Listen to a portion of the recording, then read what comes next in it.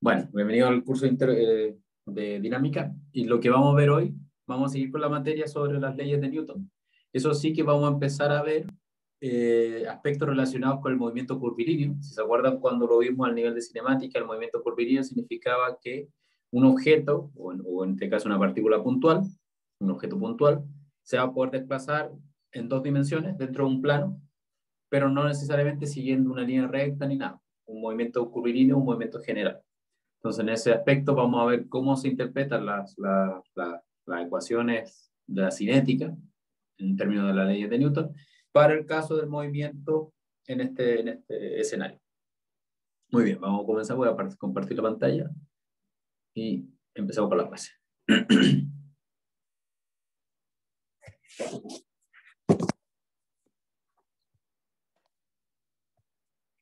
Muy bien, entonces, vamos a empezar a ver como les decía, lo que era el movimiento curvilíneo, nosotros anteriormente ya habíamos visto, o sea, la clase anterior, la clase de ayer, el movimiento en una dimensión, donde básicamente las ecuaciones de movimiento,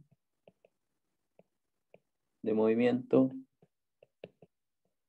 de una partícula, de un objeto puntual, eran básicamente que la fuerza partida por la masa nos dictaba lo que era la aceleración y con eso ya de ahí partíamos a lo que era la cinemática, cinemática, donde podíamos conocer cuánto era la posición en función del tiempo, la velocidad en función del tiempo, la aceleración en función del tiempo, sabiendo cómo se comporta la fuerza dentro de si depende del tiempo, de, la posición o de la velocidad, etcétera, etcétera. Entonces, en ese sentido, este era simplemente el movimiento en una dimensión y era relativamente sencillo de, entender con lo que ya habíamos visto con respecto a la cinemática en una dimensión. Bueno, el caso del movimiento curvilíneo no va a ser distinto al caso de la cinemática en dos dimensiones, porque básicamente se sigue cumpliendo que el vector fuerza dividido por la masa nos va a dictaminar cuál debe ser el vector aceleración que va a tener el cuerpo, que se está moviendo en el espacio en dos dimensiones. Simplemente ahora nuestro sistema de ecuaciones vectoriales va a implicar dos sistemas de ecuaciones. Entonces, ¿eso qué va a implicar? Primero que nada, vamos a tener la implicancia que si la fuerza, recuerden que la fuerza nos dictamina lo que es la aceleración. Entonces, en dos dimensiones, nosotros vamos a tener que la fuerza partido por la masa va a dictaminar lo que es el vector aceleración. Y si se acuerdan, el vector aceleración está relacionado con el cambio del vector velocidad en función del tiempo.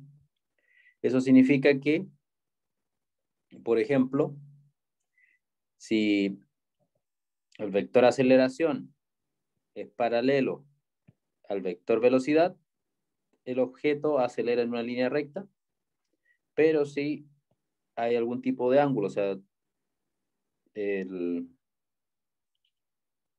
perdón, es distinto, o sea, si hay un ángulo distinto de cero entre, entre esos dos vectores, va a implicar que la velocidad va a ir cambiando según para dónde apunte la aceleración. Y eso va a significar que el movimiento va a ser curvilíneo porque en cada instante donde esté la velocidad, la aceleración le va a decir que se vaya curvando y vaya tomando un camino distinto. ¿ya? Esto está basado también, lo pueden pensar como cuando vimos las, coordenadas intrínsecas o el sistema intrínseco, donde vimos el, el vector tangencial y el vector normal al movimiento. En este caso, el vector normal principalmente va a estar dictaminado también para dónde apunta la fuerza eso quiere decir que, por ejemplo, si yo tengo un objeto que lleva una cierta velocidad en esa dirección, en principio, si no existe ninguna fuerza sobre él, el objeto se debería mover en línea recta, siguiendo una velocidad constante. Si existiese una, una, una fuerza y por lo tanto una, una fuerza en esa dirección, eso significa que nuestro objeto ahora se va a desviar siguiendo la, la indicación de la fuerza que condiciona la aceleración. Entonces, por ejemplo, más que esa fuerza, sí, si consideramos el caso de la presencia de la fuerza de gravedad, donde en este caso la fuerza va a ser la masa por la aceleración de gravedad en la dirección negativa, o sea, eso quiere decir que está apuntando siempre hacia abajo en nuestra pantalla. Eso significa que en cada instante nuestro objeto va a estar eh, afectado por la fuerza de gravedad y eso significa que nuestro movimiento en este caso se va a comportar básicamente como un movimiento parabólico, donde en cada instante el cuerpo va a sentir una fuerza siempre en la dirección eh, vertical, pero apuntando hacia abajo. Entonces, en ese instante, en cada uno de esos instantes, el, vector velocidad va a ir cambiando, pero se va a mantener en la dirección tangencial al movimiento que está distribuyendo el, objeto. Entonces, en ese sentido, una de las implicaciones grandes de ahora considerar un movimiento curvilíneo es que la fuerza no va a estar siempre alineada con el movimiento o con el vector velocidad. Eso significa que nuestro objeto va a estar recorriendo una curva en dos dimensiones. Bueno, si lo pensamos ya un poquito más tomando lo que es la segunda ley, vamos, nosotros ya hemos visto que la suma de todas las fuerzas externas va a condicionar lo que es nuestra aceleración o la segunda derivada en función del tiempo del vector posición y va a ser proporcional a la masa, con el factor de proporcionalidad de la masa. Y eso va a significar, como ahora vamos a estar en dos dimensiones, ya que un movimiento en un plano, y si consideramos lo que son las coordenadas cartesianas, nos vamos a dar cuenta que básicamente tenemos dos ecuaciones de movimiento. Una ecuación de movimiento para el eje X, o para la componente Y tongo, y otra ecuación de movimiento para la coordenada Y, o la componente J tongo, donde la suma de las fuerzas en el eje X nos van a condicionar la aceleración en el eje X, la suma de fuerzas en el eje Y nos va a condicionar la aceleración en el eje Y. Entonces, cuando estemos en dos dimensiones, vamos a tener una complicación un poquito más grande, pero tampoco es tan difícil ya que las formas de nuestras ecuaciones siguen manteniendo. El F igual a M por A sigue valiendo, simplemente que ahora es vectorial. Muy bien.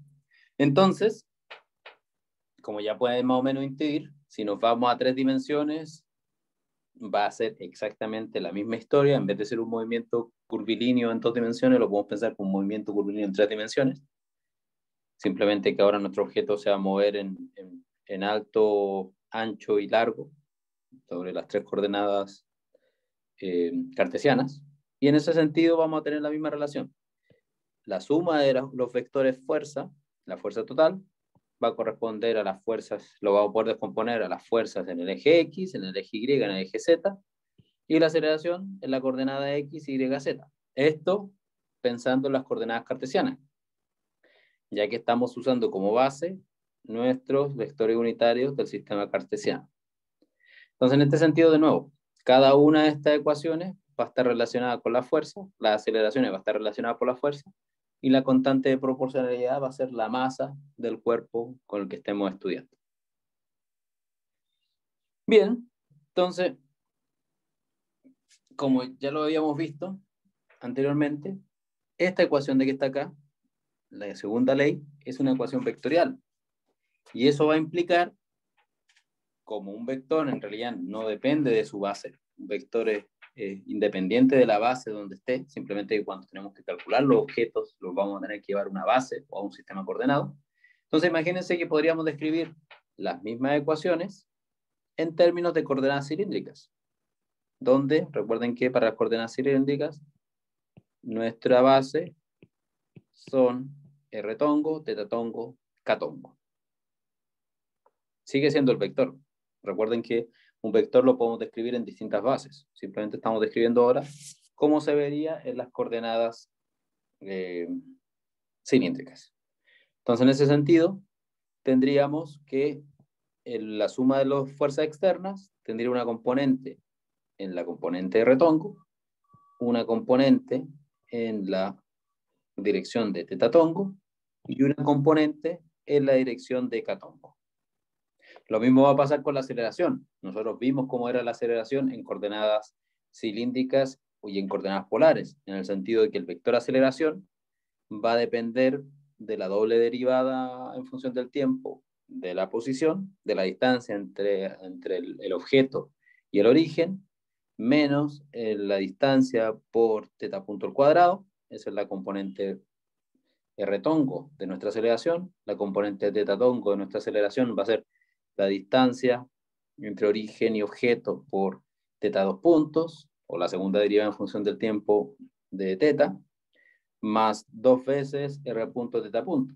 Y por último, la componente relacionada a catongo de nuestra aceleración, que está en la dirección de z dos puntos. Entonces, de esa manera nosotros tenemos que nuestras ecuaciones de movimiento pueden ser un poco más complicadas porque nuestros vectores unitarios, ustedes si se acuerdan, bueno, este no, pero por lo menos estos dos, van a depender de la posición del objeto. Entonces, si tenemos una fuerza que depende de la posición, eh, vamos a tener una pequeña complicación porque estos vectores van a ir cambiando, entonces esos términos que están acá van a ir también dependiendo de la posición de nuestro cuerpo. ¿ya?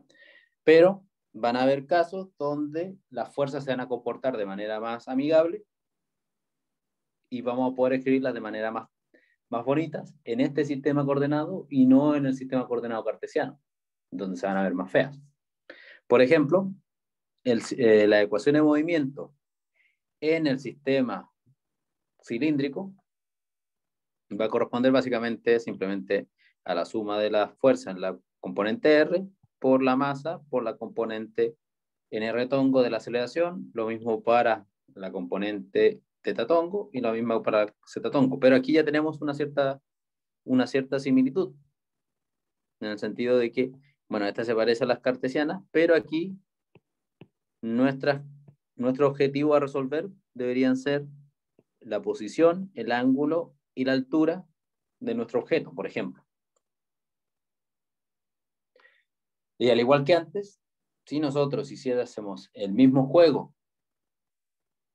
porque como vimos las coordenadas cilíndricas, mencionamos lo que eran las coordenadas esféricas, pero vimos lo que eran las coordenadas intrínsecas, podríamos escribir las ecuaciones de Newton, la segunda ley de Newton, en términos de las coordenadas intrínsecas, en el sentido de que, como sabemos que la aceleración va a tener una componente proporcional a la dirección tangencial y otra componente proporcional a la dirección normal del movimiento, entonces nosotros vamos a poder escribir el vector fuerza, de hecho lo debería haber escrito acá, vamos a poner aquí en un lado, la suma de la, de la fuerza externa como una cierta suma en la componente tangencial más la suma en la componente normal. De tal manera que la ley de Newton, la segunda ley de Newton, nos va a quedar dictaminado de esta manera. Las componentes normales, o sea, las componentes tangenciales y las componentes normales abajo. De tal manera que vamos a tener que resolver el sistema en ese sistema de referencia, en ese sistema coordenado. Y como les decía, lo mismo va a pasar con las coordenadas esféricas, etcétera, etcétera. Entonces, en ese sentido, aquí el gran problema no es tanto la cinemática, porque la cinemática ya la conocemos, sino poder escribir o poder encontrar el sistema coordenado que sea el más adecuado para nuestro sistema, para el problema que queremos resolver, para la aplicación que estamos buscando. Van a haber algunas fuerzas que se vean mejor en coordenadas cartesianas van a haber otras fuerzas que se ven mejor en coordenadas polares y otras que, se van, a, que van a ver mejor en coordenadas, eh, en coordenadas intrínsecas. Por ejemplo, antes de, que empecemos a hacer algunos ejercicios, porque básicamente esta parte es súper es super directa. Entonces, ejemplos de fuerzas que se ven bonitas en los sistemas coordenados. Entonces, vamos a poner aquí más grueso aquí. por ejemplo, ejemplos de fuerzas. Y sistemas coordenados. Por ejemplo, si consideramos la fuerza de gravedad.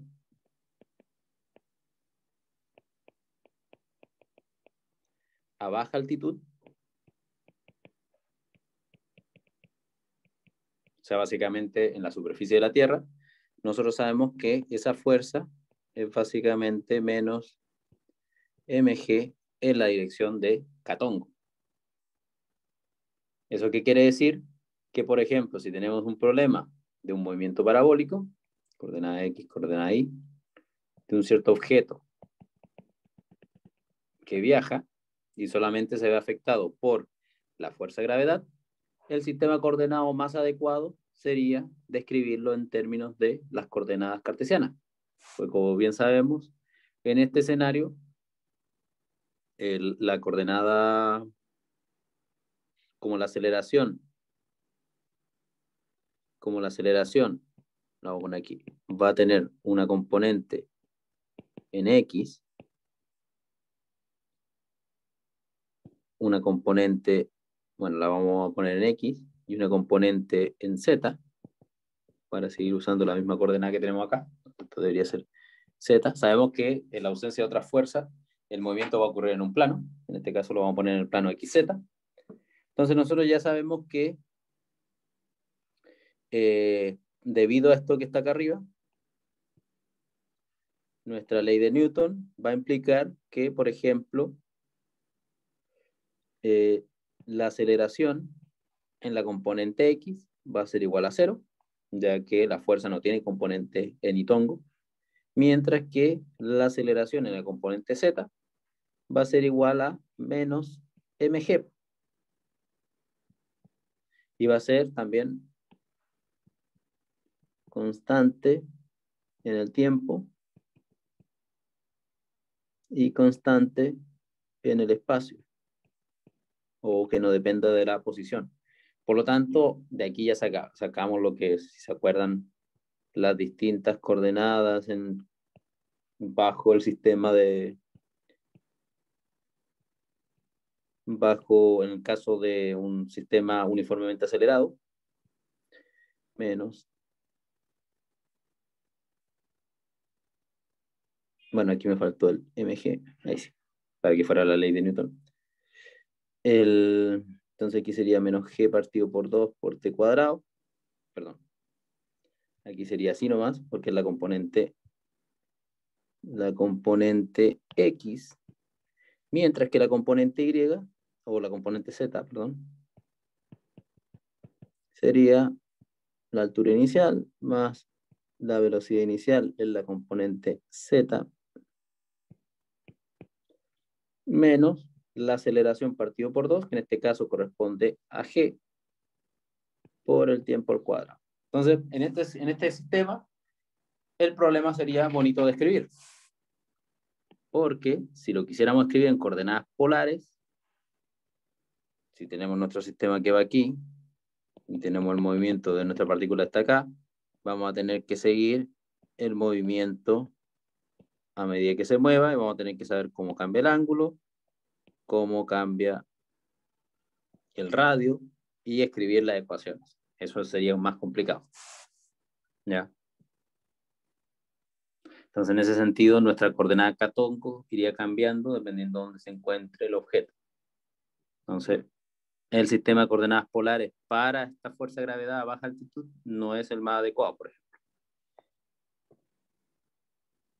Imagínense un caso donde tenemos, por ejemplo,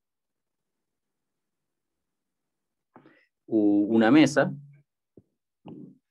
y sobre la mesa tenemos un clavo y sobre ese clavo tenemos un resorte sobre que está amarrado a, una, a una masa y esa masa nosotros la empujamos hacia el lado de tal manera que básicamente se mueve en horizontal.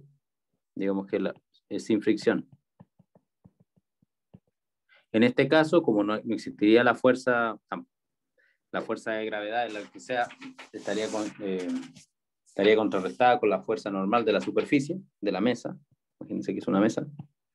Entonces, en este sentido, el sistema más adecuado para poder trabajar sería con las coordenadas polares, ya que la fuerza, en este caso, sería menos K, digamos que esto tiene un largo L o un largo R0, el largo normal, sería R0 menos R, o R menos R0, perdón, R menos R0 en la dirección de retongo, y eso sería con un signo más. Ahí. Eso significa que cuando R es más grande que R0, es positivo, no, con un signo menos, perdón, para que coincida bien. Y mientras tanto, la aceleración sería la que ya habíamos visto tanto, la componente en R-tongo más una componente en teta-tongo. La componente zeta-tongo no nos interesa en principio porque tiene aceleración cero, debido a que la fuerza no tiene componente eh, en teta-tongo. O sea, esta cosa es cero teta-tongo más cero catongo. Entonces, en este, en este caso, el sistema sería más bonito de escribir en coordenadas cilíndricas. Entonces, este serían coordenadas cilíndricas, por ejemplo. Ahora bien, un caso con coordenadas intrínsecas podría ser el mismo caso de la piedra que lanzamos, pero si consideramos el, la fuerza de resistencia del aire, ya que, como bien saben, la fuerza de resistencia del aire va a ser contraria a la dirección de movimiento del objeto, independiente para dónde se mueva. Entonces, por lo general, a veces se parametriza como un término constante, va a una velocidad por el módulo de la velocidad, en la dirección de la velocidad, y si se acuerdan, la dirección de la velocidad es el vector tangencial, o también, como lo escribimos también antes, el vector tangencial de esa manera. Entonces, en este sentido, un movimiento de una partícula, de una piedra, de un objeto que se mueve a través del aire y que se recibe eh, los efectos al roce con el aire, tendría una, la forma más fácil de escribirlo serían las coordenadas intrínsecas. ¿Ya? Entonces, en ese sentido, serían distintos ejemplos de cómo poder trabajar y, dónde va un poco la experiencia que ustedes van a desarrollar, es poder ver un problema y pensar en qué sistema de referencia o en qué sistema coordenado les conviene trabajar. Entonces ahora vamos a hacer un par de ejercicios. El primero, el 1550 del Relay Sturges, que dice básicamente, y bueno, y el segundo para que si quieren lo pueden ver después, el 15055 del Relay Sturges, que nos dice que una manzana de 100 gramos cae de una rama situada a 3 metros de altura al caer un fuerte viento transversal ejerce una fuerza horizontal de 0,05 newton y nos preguntan determinar la distancia horizontal que recorre la manzana en su caída. Entonces, este es el 1550.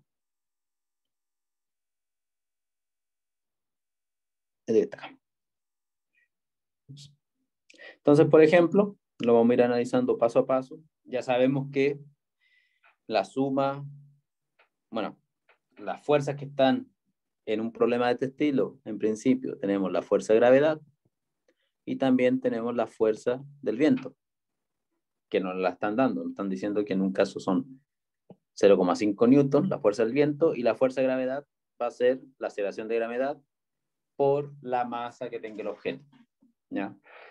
Entonces, en este sistema, que tenemos la coordenada, el vector unitario y tongo hacia la derecha y el j tongo hacia arriba, nosotros nos va a quedar que la fuerza de gravedad va a ser menos mg en la dirección de j tongo.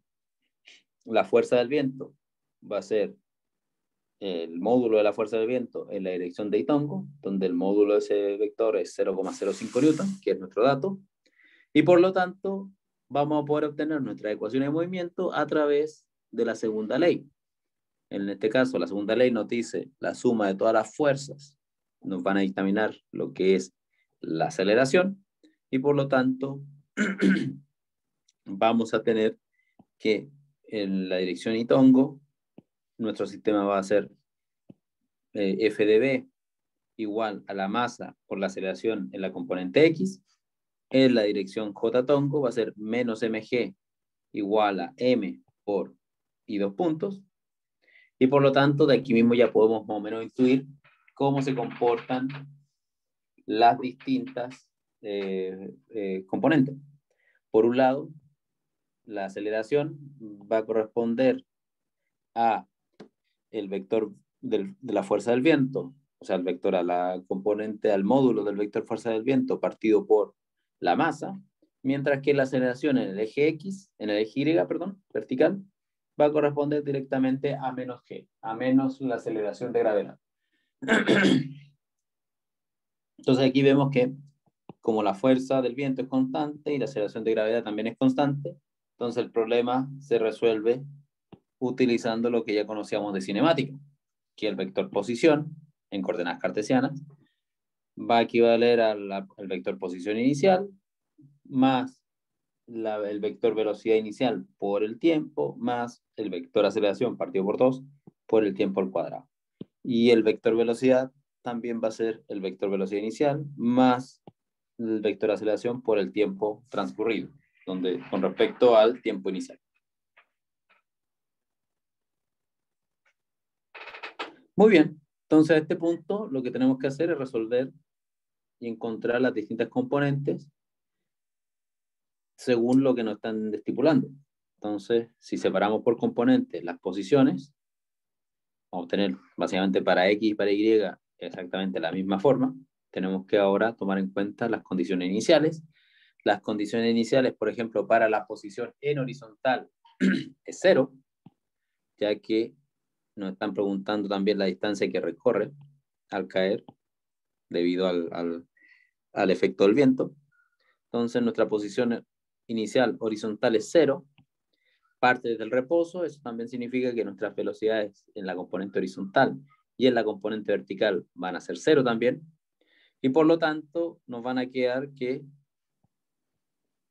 nuestras componentes verticales y horizontales, por ejemplo para X en función del tiempo, va a ser f de b partido por 2m por el tiempo al cuadrado, mientras que yt va a ser igual a la posición inicial, que eso de hecho sería más útil si lo agregásemos también acá.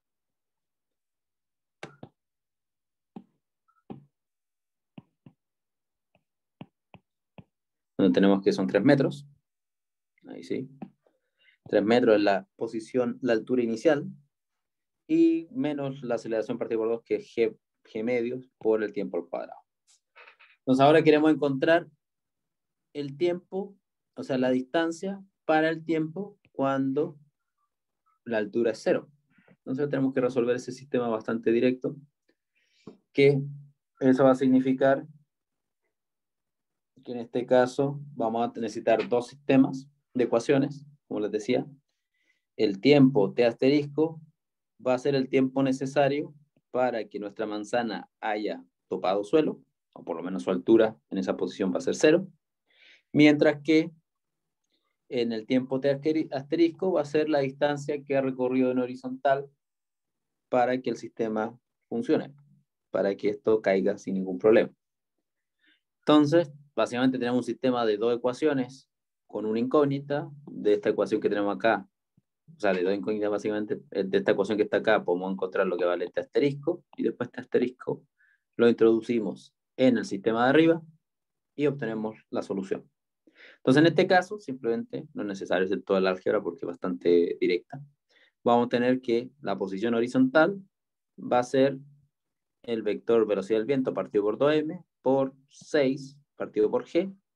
Y eso, bueno, los dos se nos van a cancelar. Nos va a dar esa expresión que está ahí directamente algebraica. Pero al reemplazar los valores, nos va a entregar que la distancia horizontal es básicamente 0 15,3 metros. Entonces aquí nos podemos dar cuenta, bueno, esto lo podemos simular de manera bastante rápida dentro del Alcudu. Entonces, por ejemplo, bueno, esto está un poco fuera de escala. Vamos a poner aquí nuestra manzana. Vamos a pintar nuestra manzana con un, con un cuerpo y le vamos a agregar una fuerza.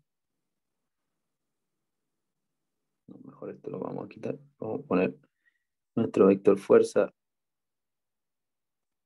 hacia el lado y lo vamos a pintar para que nuestro objeto no se nos no pierda el camino. También lo vamos a pintar de tal manera que no desaparezca y esto lo vamos a hacer más chico para que, no, más grande, para que identifiquemos a nuestra manzana. Entonces, aquí podemos ver, básicamente vamos a hacer correr la animación, dependiendo de la intensidad de la fuerza que hemos puesto, vamos a poder ver cuál es la implicancia o cuánto es el efecto que tiene sobre, sobre el desplazamiento en horizontal. Entonces, en este caso, ahí vemos que nuestro objeto básicamente se está moviendo. Bueno, aquí en este caso también pasó que la fuerza que estamos aplicando ahí está. A dar una fuerza un poco más exagerada hacia el lado.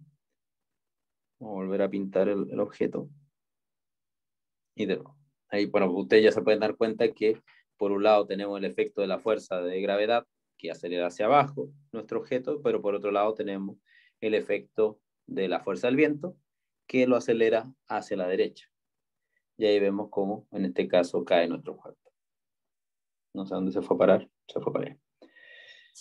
Entonces, básicamente lo que estamos viendo es, pero con ecuaciones. Muy bien. Entonces, ahora, espero que haya quedado claro ese problema más o menos. Si es que tienen dudas, preguntas, ya saben que lo pueden escribir en el chat también o interrumpirme.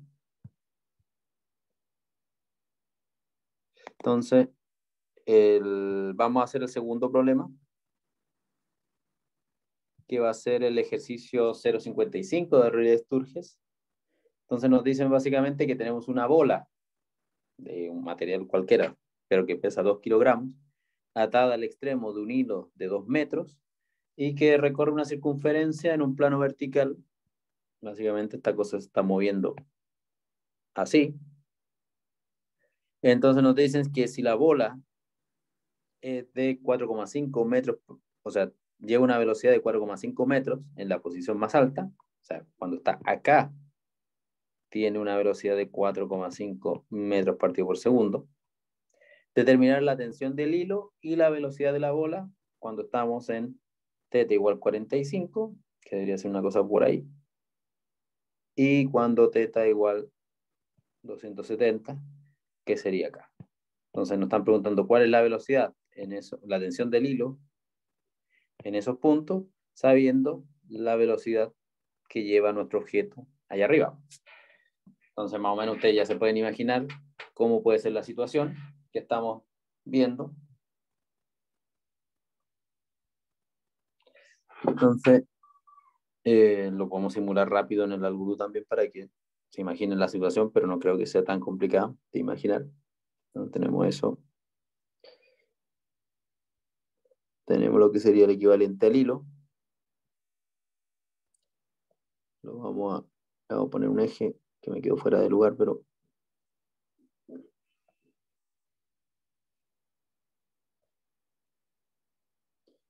Y nuestra bola la vamos a clavar aquí. Vamos a moverlo un poco para el lado para que quede todo alineado. Eh, ahí sí.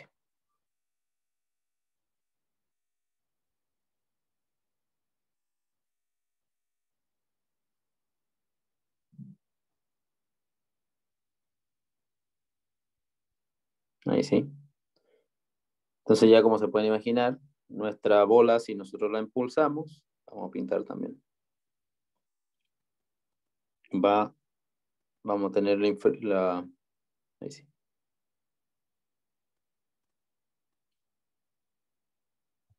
No quedó muy pegado.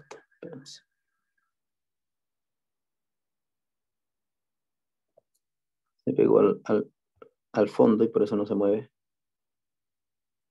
Ahí sí.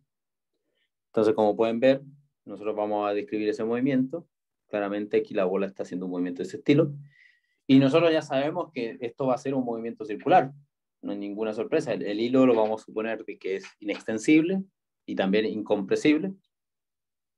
Y de esa manera lo que queremos entender es cómo nuestro objeto, cómo, cómo es la interacción entre las fuerzas que actúan sobre nuestro objeto para poder entender este movimiento. Entonces imagínense que vamos a quitar este objeto y le vamos a pedir a nuestro algodú que nos muestre las fuerzas. Y que nos muestre la velocidad de nuestro objeto. Entonces, en este sentido, cuando nosotros, por un lado, tenemos este vector A que está acá arriba, que nos indica lo que sería la fuerza, la tensión, o la fuerza de reacción que tiene que ejercer aquí el eje para mantener nuestra bola, nuestra bola que se mantenga en movimiento circular. Y por otro lado tenemos la fuerza de gravedad, que ustedes pueden ver que apunta hacia abajo. Y claro, cuando yo lo muevo, ahí el vector rojo vendría siendo el vector velocidad y el vector A vendría siendo la reacción, o por lo menos lo que tiene que ejercer, o la cantidad de esfuerzo que tiene que hacer el eje para mantener que este objeto se mantenga en movimiento circular. Bueno, aquí estamos perdiendo un poco de energía debido al roce con el aire, ahora lo quité. Pero ya se pueden imaginar cómo es la situación. También lo podríamos ver desde un contexto, como hemos visto antes, siguiendo en el marco de referencia de nuestro objeto, de tal manera para ver cómo se comporta la fuerza. O sea, aquí nosotros siempre estamos siguiendo la velocidad en la misma dirección, o tal vez en este caso le di ahí mal, un poco más lento, y podemos ver cómo, cómo varía el largo de nuestro vector A debido a que el objeto se está, está moviendo en el péndulo. Entonces, si le doy un poquito más de movimiento, podemos ver cómo va cambiando. Y cómo en estas coordenadas, que serían un poco como las coordenadas intrínsecas del sistema, el vector peso de la fuerza de gravedad eh, cambia de dirección, debido a que siempre está apuntando hacia abajo según el marco de referencia de la Tierra, pero en este caso ya se pueden imaginar para dónde está apuntando. Muy bien, entonces ese ejercicio es el que vamos a resolver con matemáticas. Entonces, vamos a verlo. 1555.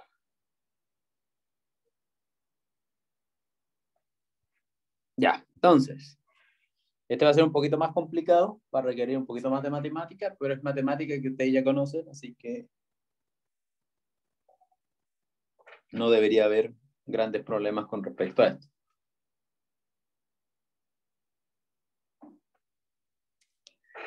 Muy bien, entonces ya sabemos cómo es el enunciado, que tenemos esa bola de 2 kilogramos atada al extremo de un hilo de 2 metros que recorre una circunferencia de plano vertical y nos dice la velocidad en el punto más alto, que es de 4,5, y nos preguntan determinar la tensión y, la velocidad en esos dos ángulos.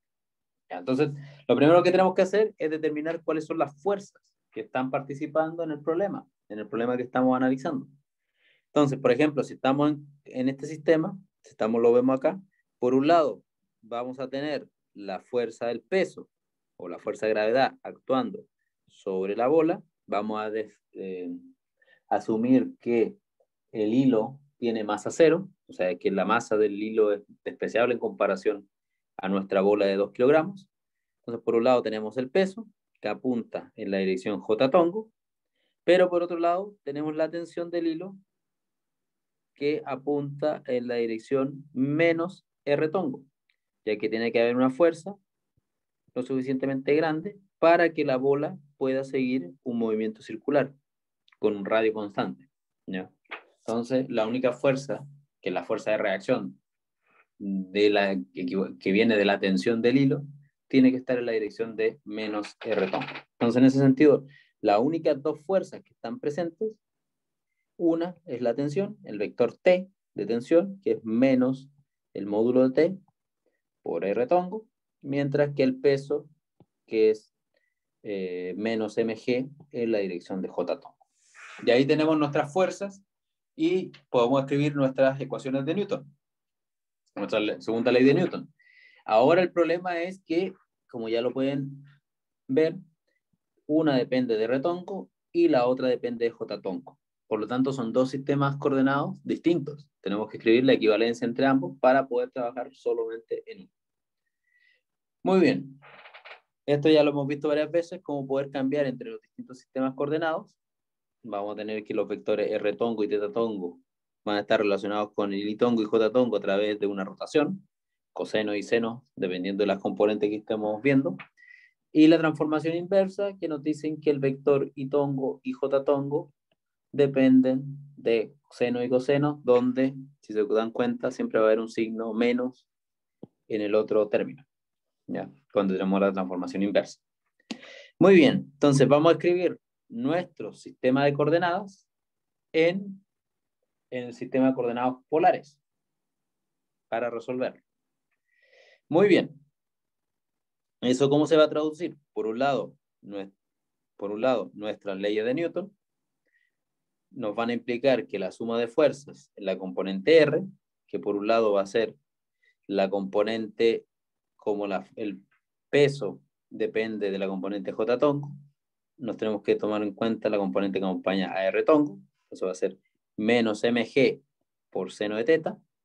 Por otro lado tenemos la tensión, que era menos t, y esto tiene que ser igual a la masa por la aceleración en la componente R tongo de la aceleración. Y la componente R tongo de la aceleración es R2 puntos menos R por teta punto cuadrado. Aquí vemos que como el radio que describe la bola atada con el hilo es constante en el tiempo, o sea, no se hace ni más larga ni más corta, eso implica que sus derivadas en función del tiempo van a ser cero.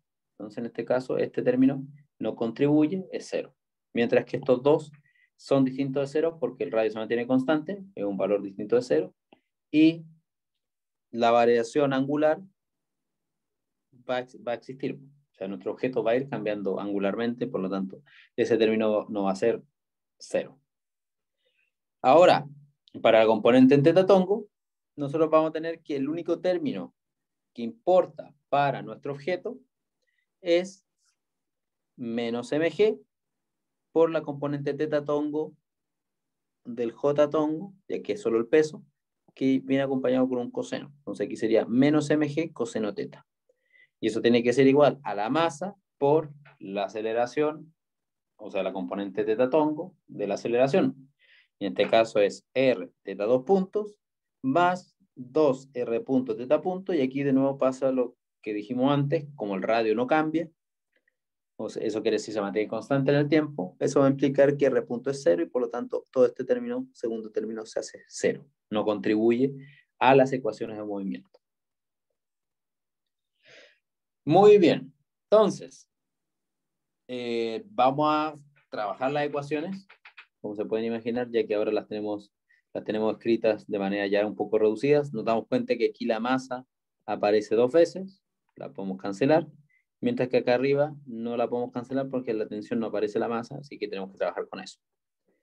Primero que nada, nos vamos a dar cuenta que aquí aparece el teta 2 puntos. Teta 2 puntos, si se acuerdan, lo podemos asociar un poquito con, el, con la aceleración angular de nuestro sistema, especialmente cuando lo veamos después con eh, cuerpo rígido, va a ser más obvio. Pero recuerden que teta 2 puntos o alfa lo podemos reducir a través de la regla de la cadena en el sentido de que la aceleración angular corresponde a la derivada de la velocidad angular con respecto al ángulo por la velocidad angular. ¿Ya? Eso lo vimos para la aceleración lineal. ¿Se acuerdan? Que la aceleración lineal, la aceleración lineal, que es dB a dt, nosotros la podemos escribir como dB a dx por dx a dt, que la, sería la regla de la cadena, pero este último término equivale a la misma velocidad. Entonces, dx db. Del punto de vista angular sería alfa de omega a dt, y en este caso sería de omega a de ángulo, a de teta, de teta, a de t, y por lo tanto sería la misma ecuación, o sea, la misma expresión, simplemente adaptada al caso angular. Regla de la cadena. Este cálculo. Muy bien. Entonces, en ese, en ese aspecto, eh, ya nos damos cuenta que este término que está acá, ese teta dos puntos, va a estar asociado con la derivada de la velocidad angular con respecto a teta, que en este caso sería la derivada, la derivada de teta punto con respecto a, a teta por teta punto. Entonces, donde aparece eso, lo podríamos reemplazar con eso que está ahí. Muy bien, tenemos eso. Al reemplazar eso en la ecuación, nos queda menos g coseno teta r teta punto por de teta punto a de teta. Podemos integrarlo en función del ángulo. Y como ya podemos intuir, por un lado, esta parte acá depende del ángulo, va a ser menos g, la integral de teta 0 a teta 1 de coseno de teta, de teta, igual a la integral a través de que las diferenciales se nos van a cancelar, o vale decir, tenemos un cambio variable en nuestra integral, va a ser una integral sobre teta punto y que nos va a dar r medios teta punto evaluado en los extremos. O sea, básicamente, teta punto, teta punto evaluado en los extremos, donde estas son la velocidad angular al inicio, o sea, la velocidad angular para el ángulo teta 0 y la velocidad angular para el ángulo teta 1. A, eso me refiero con ángulo inicial, ángulo final, velocidad inicial, ángulo final, velocidad final. Muy bien, entonces la integral de coseno nos da seno y por lo tanto nos queda que esa ecuación, la segunda ecuación, se puede reducir a esta expresión que está acá. Menos g seno de teta, evaluado los extremos, R medios, teta punto, evaluado los extremos de la velocidad angular. Muy bien. Entonces, en este punto, podemos intentar ver cuánto son las velocidades angulares iniciales para los ángulos inicial que tenemos en mente. Y el único punto donde conocemos ya sea la velocidad y el ángulo es en 90 grados, en el punto más alto del movimiento de nuestra bola, del péndulo este que está acá. Entonces significa que el vector velocidad en 90 grados va a ser menos 4,5 teta punto, ya que se está moviendo así el objeto. Entonces nosotros lo vamos a ver ahí. En ese punto el vector velocidad es perpendicular al vector radio, al r y por lo tanto nosotros ya sabemos que la velocidad en coordenadas polares es r teta punto teta tongo, y por lo tanto, a través de eso vamos a poder sacar que si son 4,5 metros partido por segundo, va a corresponder a r teta punto, y eso va a ser igual a 2 metros teta punto exactamente, y por lo tanto teta punto en 90 grados va a ser 2,25 radianes partido por segundo. ¿Ya? Entonces eso quiere decir que nosotros ya sabemos que esto vale 2,25 metros eh, radianes partido por segundo, cuando esto vale 90 grados o pi metros. ¿Ya? Muy bien. Profe, disculpe, en esa integral, eh, ¿no sería velocidad angular al cuadrado? En la... Ah, sí. En esa. Sí, exactamente. Eso es lo que estaba viendo antes, velocidad angular al cuadrado. Ahí está. Entonces ahí sería la velocidad angular al cuadrado, pero sería lo mismo, evaluar los extremos. ¿Ya? Muy bien. Entonces, en ese punto, de hecho, lo tengo, acá lo tengo con la velocidad angular al cuadrado. De hecho, en ese punto, como le estaba diciendo, conocemos el ángulo inicial, conocemos la velocidad angular inicial, que en el punto más alto, y por lo tanto podemos reemplazar en esa ecuación, en este caso sería el 9,8 para el g, seno de teta 1, teta 1 no lo conocemos, teta 1 va a ser el ángulo que nos están pidiendo, ya sea 45 grados o 270 grados, que son la parte A o B. Y aquí la velocidad omega 1 sería la velocidad angular en el ángulo teta 1.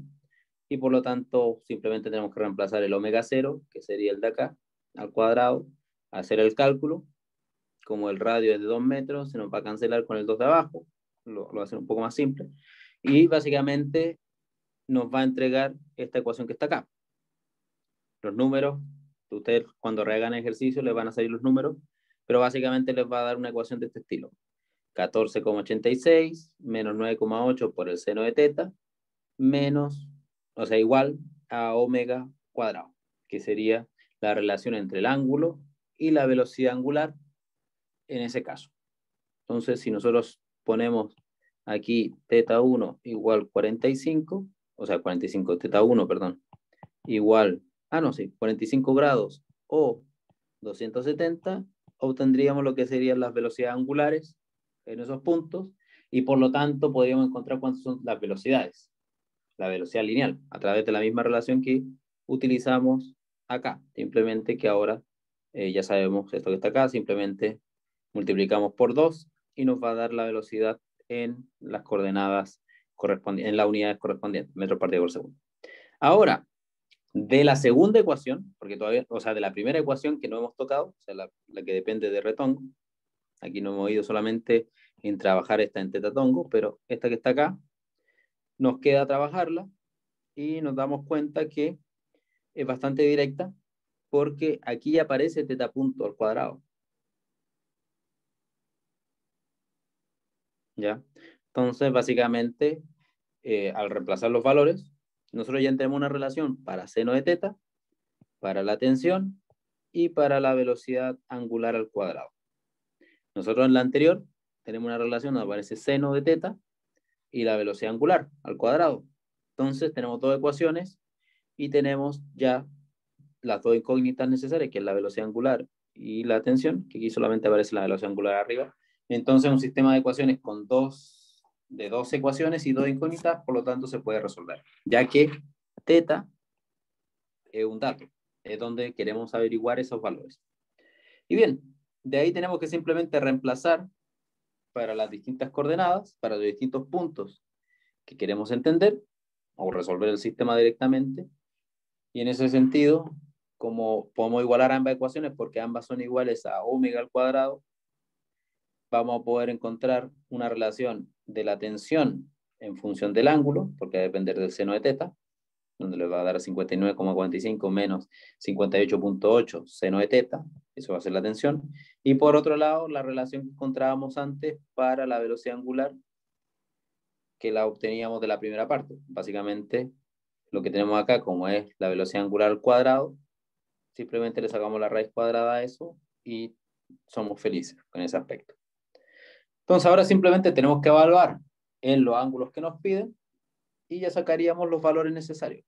Entonces, si teta es 45 grados, sabemos que eh, al evaluar, poniendo aquí pi cuartos, calculamos nuestro valor y la tensión va a valer 17,87 newtons. La velocidad angular en 45 va a ser 2.81 por 6,53 eh, radianes partido por segundo. Y la velocidad lineal, que es lo que nos piden, porque no nos piden la velocidad angular, en este caso sería el vector velocidad lineal evaluado en 45 grados, que sería R por omega por teta punto, o sea, por teta tongo, que sería 5.63, porque es básicamente esto por 2. Y si escribimos teta punto, teta tongo, perdón, en coordenadas cartesianas sería menos seno 45, coseno 45 en la dirección j tongo, y por lo tanto ya sabríamos cuánto es. Entonces 1 partido por raíz de 2. Esto es 1 partido por raíz de 2. Y ahí podríamos sacar cuánto, bueno, multiplicándolo con esto, cuántas son las distintas componentes en horizontal y en vertical de nuestra velocidad. Muy bien. Ahora para, bueno, que aquí ya está el cálculo hecho. Ahora para 270 grados, que sería 3 pi medios, el resultado es análogo, simplemente hay que evaluar con respecto a eh, teta igual 3 pi medios, y el resultado numérico es esto que está acá.